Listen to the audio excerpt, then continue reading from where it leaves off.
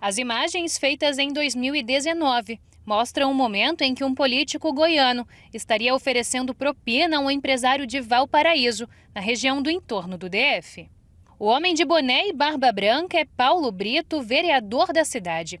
Neste vídeo, ele sugere que o dono de uma funerária aceite a quantia de 30 mil reais para se livrar de uma dívida de quase 200 mil que tinha junto ao município. 90 tinha que pagar, Ah, tá. pagar, Uhum. para poder resolver. A oferta foi feita a Fernando Viana, dono da empresa que presta serviços funerários à Prefeitura de Valparaíso desde 2012.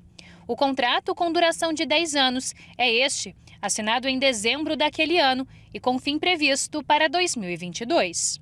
Quando ganhou a licitação, caberia à funerária prestar serviços gratuitos para a comunidade carente de Valparaíso de Goiás, desde que desse, em contrapartida, 10% do faturamento todos os meses para a prefeitura do município. Os serviços foram prestados, mas os 10% não foram pagos. Isso porque, segundo Fernando, parte do valor que ele entregava à prefeitura estava sendo embolsada por agentes públicos. Naquela época, quem estava à frente dessa negociação na Superintendência de Receita Tributária era Paulo Brito. Depois de uma semana ele me ligou que tinha calculado e que tinha dado para me pagar 4 mil reais. Esses 4 mil reais eu pedi que ele fizesse o boleto que eu ia pagar e daqui e todo mês eu ia pagar certinho. Sem pagar as parcelas que devia, o empresário viu a dívida se multiplicar.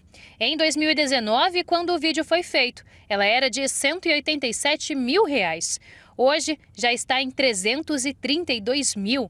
Durante todos esses anos, ele conta que acionou o Ministério Público e a Polícia Civil do Estado de Goiás para denunciar o suposto esquema e pedir auxílio, mas nunca encontrou suporte. O Ministério Público pediu explicação para eles.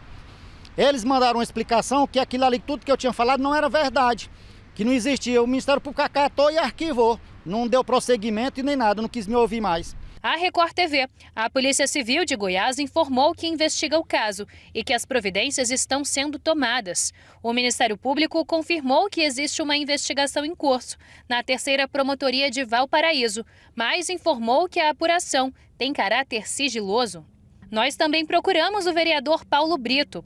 Em nota, ele disse que o vídeo é uma tentativa criminosa de intimidar sua atuação parlamentar e que a verdade será esclarecida a todos os cidadãos. Entendeu? Ninguém me procurou. Estou aqui sem ninguém me procurar para resolver esse problema, entendeu?